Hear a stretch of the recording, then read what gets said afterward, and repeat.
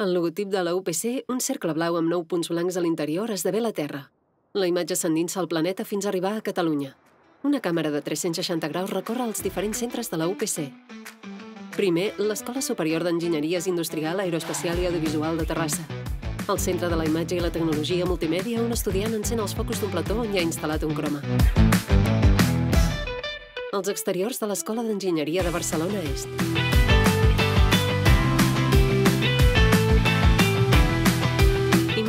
l'edifici de l'Escola Tècnica Superior d'Arquitectura del Vallès. Als peus de la Torre Girona, dos estudiants saluden a la càmera. Després, la Facultat d'Informàtica de Barcelona, l'Escola de Camins de Barcelona i els serveis centrals de la UPC. També l'Escola Tècnica Superior d'Enginyeria Industrial de Barcelona i la Facultat de Matemàtiques i Estadística. Al Centre de Formació Interdisciplinària Superior, un robot sosté la càmera que grava una de les aules. Imatges de la Facultat d'Òptica i Optometria de Terrassa i del Centre Universitari de la Visió.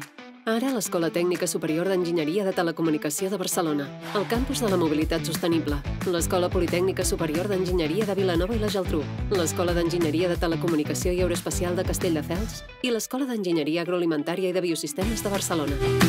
Un noi entra a la Fundació Politècnica de Catalunya.